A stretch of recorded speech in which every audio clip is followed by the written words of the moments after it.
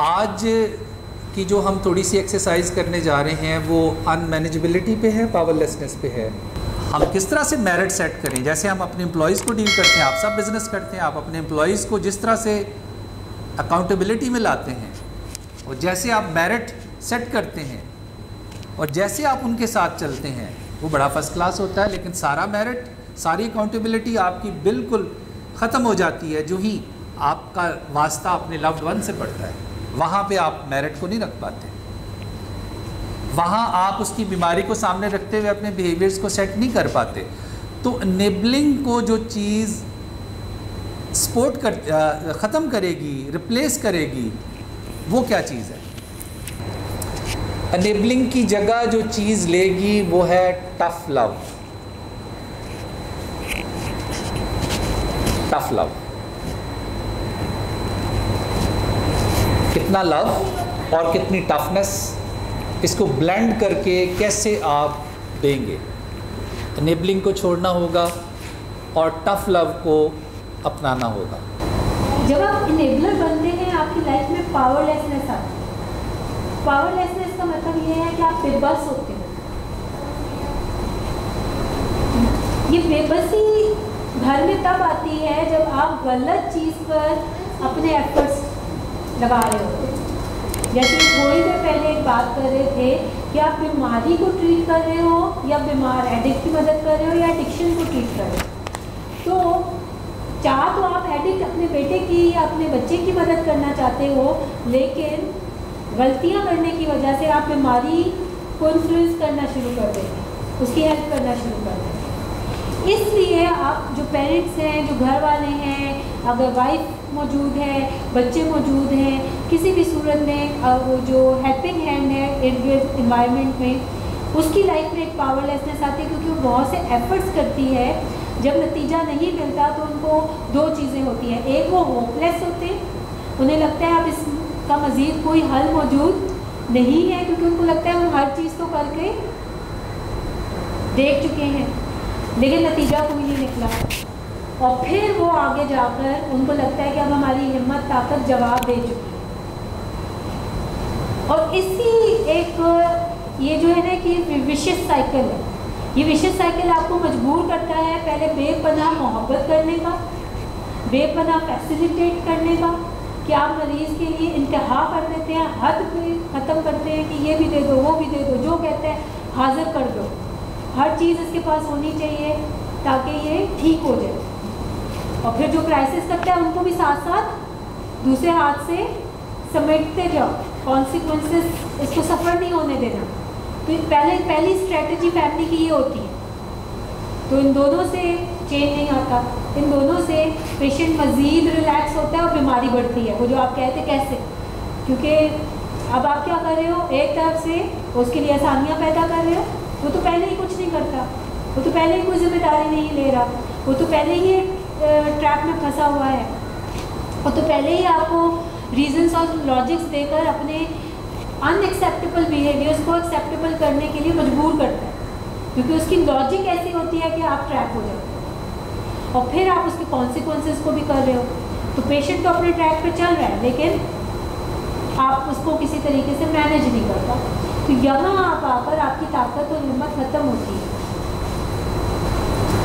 वजह ये है कि अब आप जो है, अपने जो एफर्ट्स हैं, उनको सही जगह पर यूटिलाइज करना जब सीख लेंगे तो ये होपलेसनेस और पावरलेसनेस दोनों आपके कंट्रोल में आएँगी। चाहे मैं एक एग्जांपल देती हूँ, उसकी सिंपल एग्जांपल देती हूँ।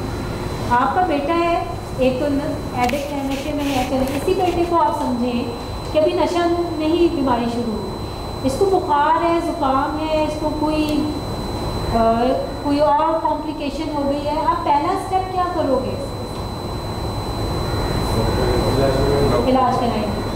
लेकिन जब बच्चा नशे में जाता है ये ऑप्शन कब आती है दिमाग में घर वालों के?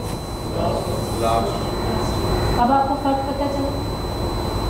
क्योंकि हम इसको बीमारी के तौर पे नहीं देखते? होते हम इसको देख रहे होते हैं। एक डिफेक्ट ऑफ़ करेक्टर और मैं चाहूँगी फैमिलीज़ अपने एक्सपीरियंस से बताएँ कि आपने इतना लेट क्यों किया? क्या वजह थी? अवेयरनेस नहीं होती तो पेशेंट भी इजाज़त नहीं देता? हाँ पेशेंट भी ज़्यादा पेशेंट कहाँ इजाज़त देता है अपनी फैमिली को कि आप जाओ और डॉक्टर से डिस्कस करो? कहता, ख़बरदार मेरी इजाज़त के बगैर गए तो आप लोग मेरे पास तो बेचारे वालदेन छुप छुपा के डर के ही आते हैं। वो तो डरे हुए बैठे होते हैं। जब उसको घर पे छोड़ के आते हैं ना, मेरे ऑफ़िस में बैठ के मेरे सामने डर रहे होते हैं कि कहीं उसको पता ना चल जाए, हम आपके पास आए आप लोगों को अंदाज़ा है कितना डर आप क्रिएट करके रखते हैं? कि एक कितनी, एक मसनू दहशत है जो नशे की बीमारी आप लोगों के अंदर पैदा कर देती है और आगे आप फैमिली के अंदर पैदा कर देते हैं। उस दहशत के नतीजे में वो इतनी ज़रूरत नहीं होती कि किसी को कॉल करें या किसी से कोई प्रोफेशनल हेल्प लें या डॉक्टर के पास जाएँ साइकोलॉजिस्ट के पास जाएँ साइकाट्रिस्ट के पास जाएँ तो वो इतना भी अलाउ नहीं कर रहा होता। अच्छा उसको ये नहीं लग रहा होता कि प्रॉब्लम उसके साथ है, उसको लगता है प्रॉब्लम दूसरों के साथ है। उसको लगता है कि वो ठीक है, दूसरे ठीक नहीं हैं। ये उनकी वजह से हूँ, जो भी है, मेरे अंदर कोई प्रॉब्लम है तो ये तो उन लोगों की वजह से है, या मेरे जो साथ रहने वाले हैं, उनकी वजह से है। वो ठीक हो जाए तो मैं ठीक हो जाऊँगा। मैं तो ठीक हूँ। मुझे कोई मसला नहीं। ये डिलूजन भी हो सकता है। ये इरेशनल थिंकिंग भी हो सकती है। तो ये एहसास नहीं होता कि प्रॉब्लम मुझे है। प्रॉब्लम हमेशा दूसरों के साथ उसको लग रहा होता है। तो इस सारी एक्सरसाइज में आप एक चीज़ को देखेंगे अगर आप सबसे पहले अगर आप आए जो चीज़ें आप कर रहे होते हैं इस पहले पेज पे साइलेंट ट्रीटमेंट अब आ जाते हैं फॉर्म की तरफ़। तो बेसिकली अभी आपके बिहेवियर्स को आइडेंटिफाई करने में हेल्प करेगा। पहली चीज़, देखिए फैमिली क्या करती है, वो कंट्रोल करने की कोशिश करती है मरीज़ और मरीज़ की बीमारी को। और उसको कंट्रोल करने के लिए कुछ खास स्पेसिफिक बिहेवियर्स अडॉप्ट करती है। तो हम उसको वन बाय वन करेंगे। आपके पास सिंपल सा एक फॉर्म मौजूद है। We just want you to recognise कि ये चीज़ें आपके लिए कितनी ख़तरनाक है। यानी ये सिर्फ़ एक सिंपल फॉर्म नहीं है। अगर आप इसको प्रैक्टिकली इन चीज़ों को इम्प्लीमेंट कर रहे हो तो ये ख़तरे की निशानी है। घर में बीमारी ठीक नहीं होगी, आपकी बीमारी बढ़ती चली जाएगी। तो हम आते हैं कि कंट्रोल करने का पहला जो फैक्टर हमारे पास मौजूद है, वो अगर आप उस पर देखें तो नंबर वन पे उन्होंने बात की है साइलेंट ट्रीटमेंट खामोशी इख्तियार करना। खामोशी से चीज़ों को दबा देना। और इसके पीछे एक एहसास होता है फैमिली का वो ये होता है कि इसे जब हम इन चीज़ों पे बात नहीं करेंगे ना तो इसको रियलाइजेशन होगी।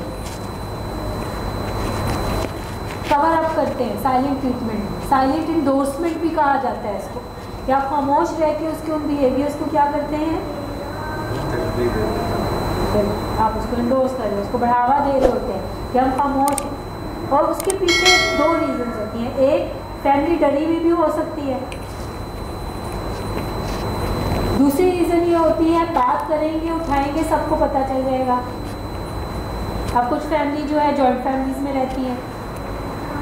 उनके लिए डिफ़िकल्टी पैदा होती है। सोसाइटी का प्रेशर आता है।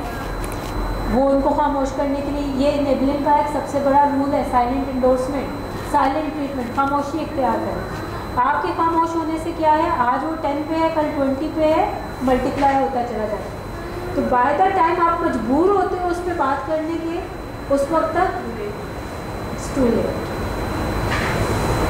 ठीक? तो पहली चीज़ ये है सामने सिंपल आपके पास येस नो ऑप्शन है। You can you know you just have to recognise it कि क्या आपने इनिशियली या अभी भी आप क्या इस तरह से साइलेंट ट्रीटमेंट में चल रहे हैं? खामोशी क्या की हुई है? वहाँ उन इश्यूज़ पे जिन पे बात होनी चाहिए, क्या आप खामोश हो जाते हैं?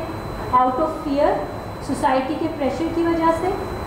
या फिर पेशेंट के प्रेशर की वजह से कि बात करेंगे और ये एग्रेसिव होगा? So it's better not to talk